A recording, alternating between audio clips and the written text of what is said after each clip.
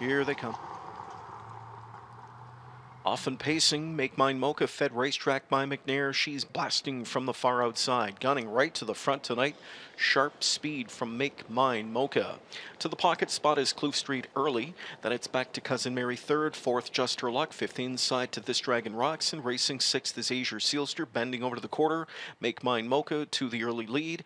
Right there, second tracks Kloof Street, Cousin Mary. Third inside, back to fourth Just Her Luck. Then fifth is This Dragon Rocks, and the last one as the field travels by the quarter. Azure Seelster first panel 27 and 2. Now it'll get interesting. Cousin Mary's on the move. Filion thought about it but stayed put. So Cousin Mary activated by Harris in the backstretch. She went from third to second to first. As McNair grabs hard on grips of Make Mine Mocha, she'll give way to Cousin Mary. 27 and 2 the opening quarter. Cousin Mary to the front now. Back into the pocket position from in second tracks along Make Mine Mocha. Then racing along from in third is Kloof Street. Fourth one back is just her luck.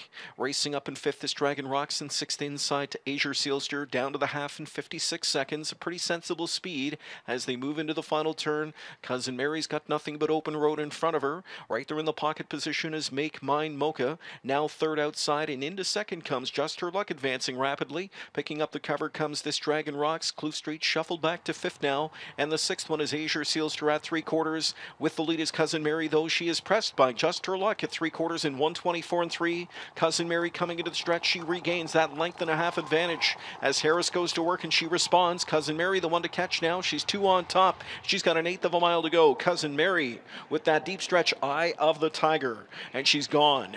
Here's Cousin Mary, straight and strong, powerful strides into the end as she seals the deal impressively here. Won it by five. Home in 150 and three, her last quarter in 26. She can scoot.